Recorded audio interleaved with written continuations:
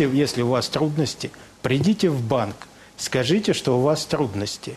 Есть агентство по реструктуризации ипотечных жилищных кредитов.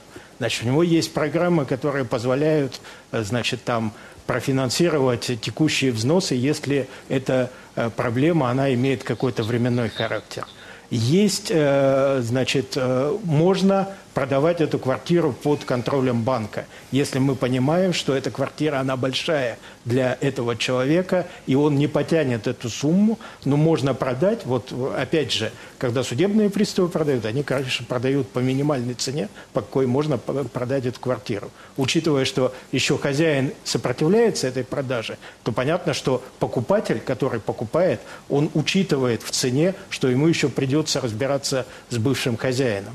Значит, если бы человек продавал эту квартиру сам, я думаю, он продал бы ее по цене значительно больше, В чем два он раза как минимум.